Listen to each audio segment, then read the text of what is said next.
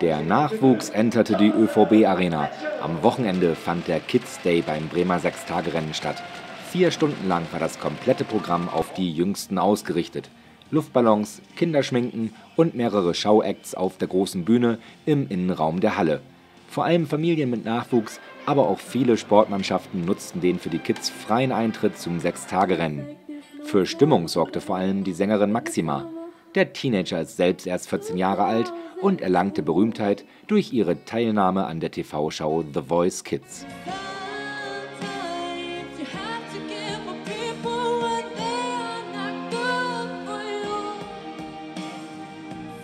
Neben dem Schauprogramm waren aber natürlich auch die schnellen Radprofis auf der Bahn ein absolutes Highlight für die jungen Gäste.